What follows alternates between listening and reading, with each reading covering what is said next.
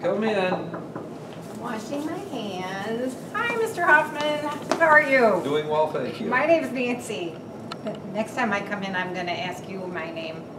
Okay, I'll remember. All right. How are you today? Fine, thank you. And yourself? I'm good. Good. I'm good. So I am here to do an assessment of your head, face, and neck. All right? Okay. I'm going to start by asking a couple of questions. Um, do you smoke or chew tobacco? No, I do. Have you ever chewed tobacco? Never. Never, okay. Any problems with um, your mouth or your face that you're aware of?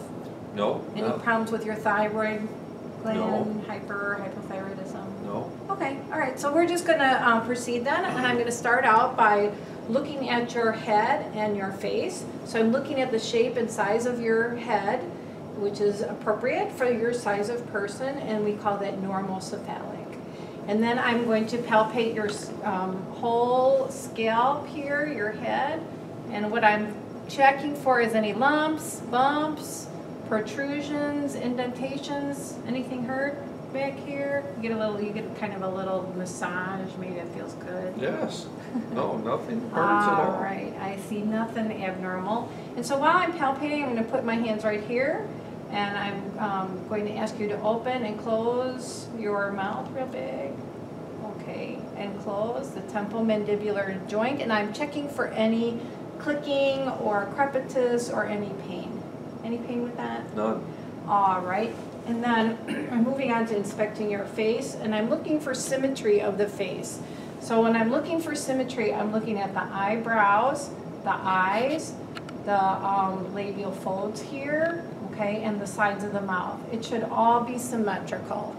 If there was one side of the face that was drooping, it would indicate possibly a stroke or possibly a problem with cranial nerve number seven or Bell's palsy.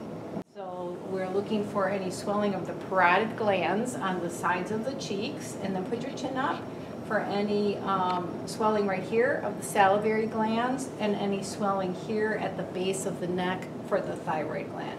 All right, that's good. We're going to assess the lymph nodes of the neck. So the lymph nodes of the neck, all 11 sets, you want to check them at the same time with the pads of the fingers using a circular mo- uh, motion. So here are the pre-auricular, the post-auricular right behind the ear, the ear. Okay, can you turn your head towards me a little bit? And then the occipital right back here on the occipital bone on both sides. The submental right under the chin.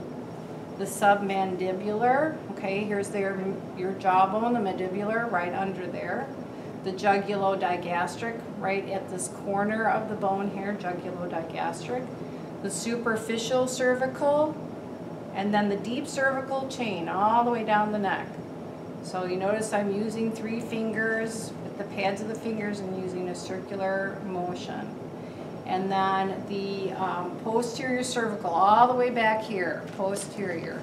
So here's your, here's the cervical spine, and then right here is the posterior cervical. And then the last set are the subclavicular. So here are the collarbones. And you want to put your fingers right in here. And can you shrug your shoulders up? There you go. Right into that hollow right there is where you would feel those. All right, you can relax now. And lymph nodes, you should not feel at all. That would be a normal finding. If you do feel a lymph node, then you would have to assess the location, the size, the consistency, um, the shape of, of those lymph nodes. And then you would have to investigate further as to why there are enlarged lymph nodes. But it would be normal to not feel them at all. Or if you did feel it, it would be very small and soft. And then you can look straight at me, and we're going to continue with assessment of your um, range of motion of your neck. So can you put your chin up, and then put your chin down to your chest, and then turn side to side. Go, and then put your ear to shoulder, and then your ear to your other shoulder. All right, good. So your range of motion on your neck is normal. Now we're going to check the function of cranial nerve number 11. So can you shrug your shoulders? No, no, shrug up. Shrug up. There you go, against my hands. All right, good. Relax.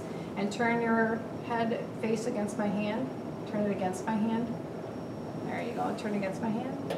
All right, good. That's assessing cranial nerve number 11, which is functioning normally. That concludes the assessment head, face, and neck.